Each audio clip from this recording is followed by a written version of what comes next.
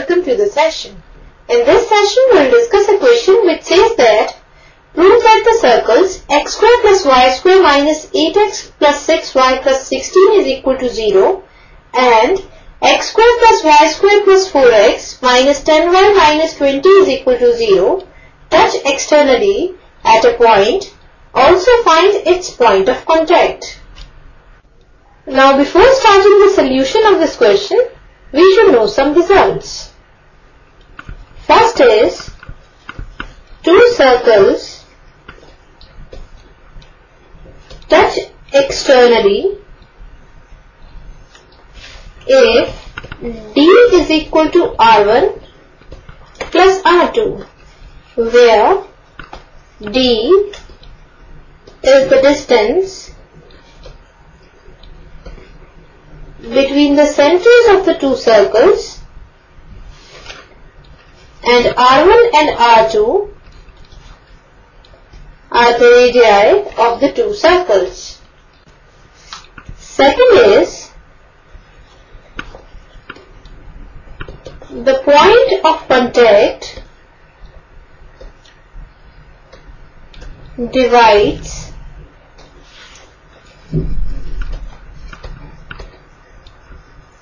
the line joining the centers of the two circles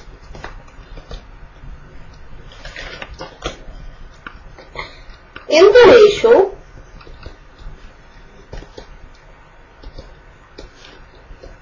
of the radii internally for external contact and externally for internal contact.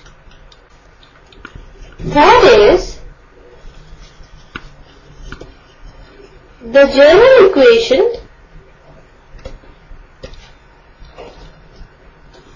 of the circle is x square plus y square plus 2gx plus 2fy plus c is equal to 0 where center of the circle that is the coordinates of the center of the circle are given by minus g minus f and the radius of the circle is given by square root of g square plus f square minus c.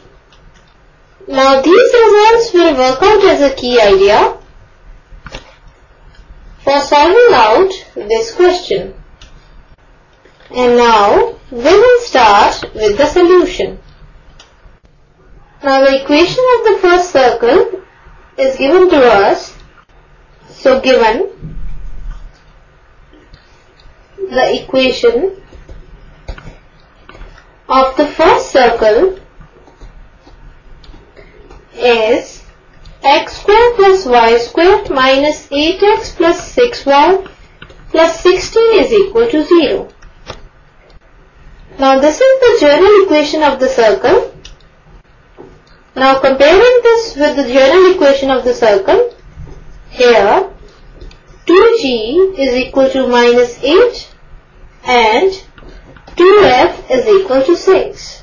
This implies g is equal to minus 4 and f is equal to 3.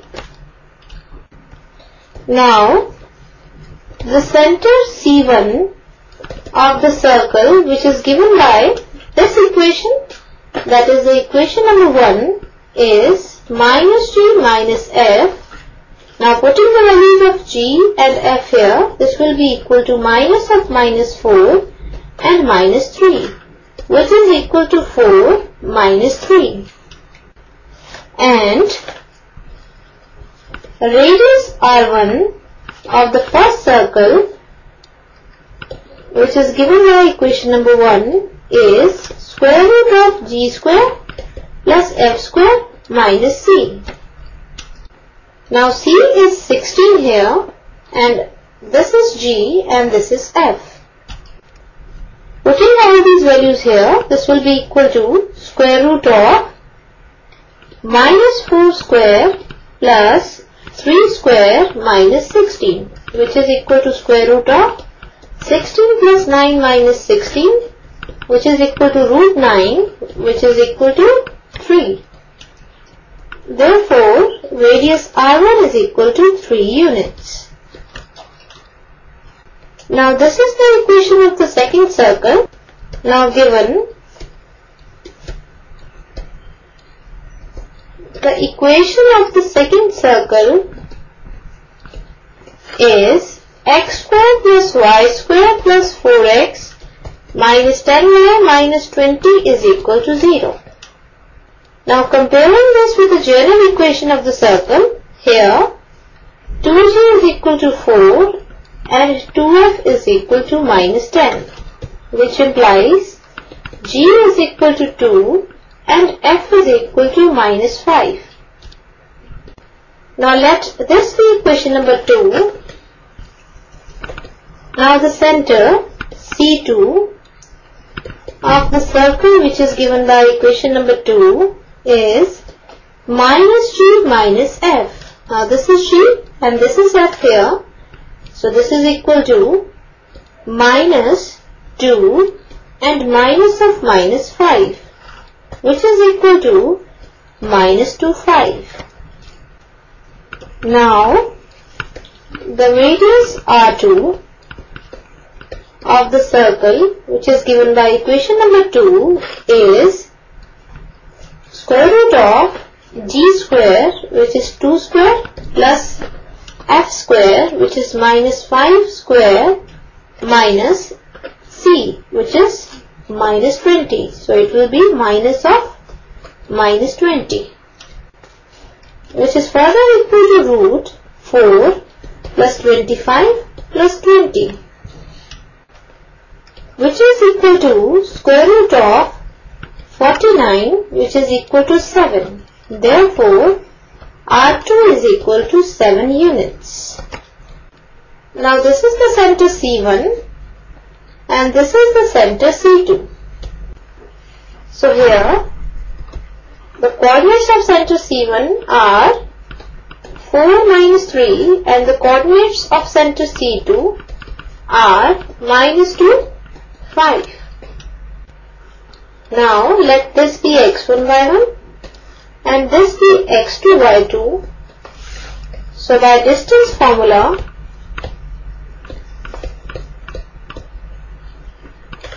distance c1 c2 is equal to square root of x2 minus x1 whole square plus y2 minus y1 whole square which is equal to square root of minus 2 minus 4 whole square plus 5 minus of minus 3 whole square.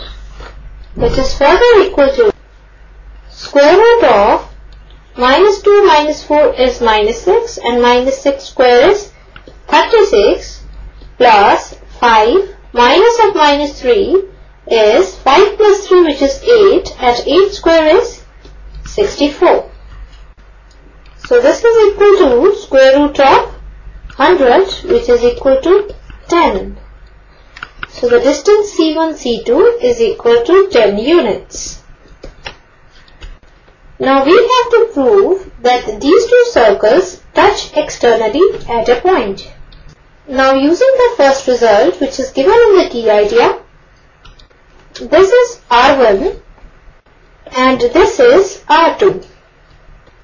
Now R1 plus R2 is equal to 3 plus 7 which is equal to 10 units. Therefore, the distance between the centers which is C1 C2 is equal to R1 plus R2 which is equal to 10 units. Thus, the given circles touch each other externally. Now, we have to find the point of contact of the two circles. Now using the second result which is given in the key idea, now the point of contact let it be pxy divides the line joining the centers of the two circles that is C1 C2 in the ratio of their radii that is R1 is to R2. Now R1 is 3 and R2 is 7 units. So the ratio will be equal to 3 is to 7.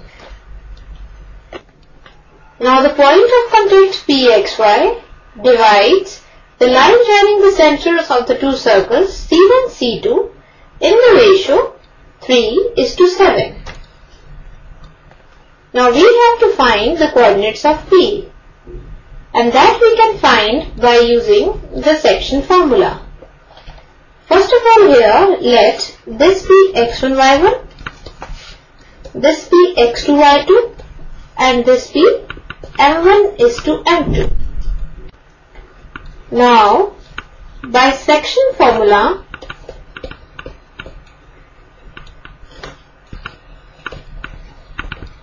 coordinates of P are given by the formula m1x2 plus m2x1 whole upon m1 plus m2 and m1y2 plus m2y1 whole upon m1 plus m2. Now putting all these values here, this will be equal to 3 into minus 2 plus 7 into 4 whole upon 3 plus 7 and here it will be 3 into 5 plus 7 into minus 3 whole upon 3 plus 7. Further, this is equal to minus 6 plus 28 whole upon 10 and here 15 minus 21 whole upon 10.